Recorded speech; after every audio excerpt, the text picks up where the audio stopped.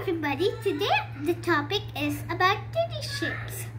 The first one is circle. It has one curved side, no corners and no what? Vertices. vertices. Now I'm going to tell you some examples. For example, I have got this cover. Look, it is one curved side.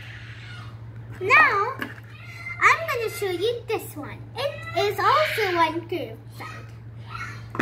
Now circle is done. Now the next one is triangle. I just have one thing. I'll show you.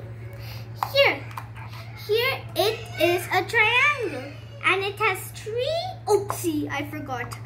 It is, it has three sides and three corners and three vertices.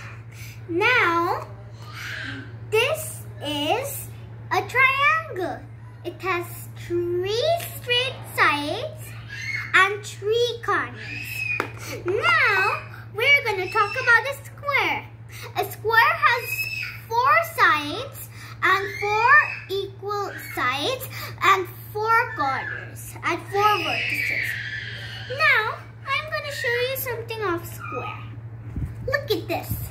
It's my book and it has four lot of equal sides.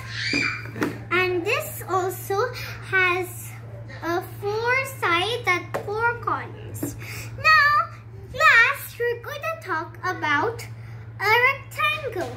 Here is my Disney Princess wallet. Can you see it has four sides and four vertices and four corners. And now, here is my tablet. And also it has four sides, four vertices and opposite equal sides and four corners. And also here is a mobile and also it's four vertices, four opposite sides and four corners.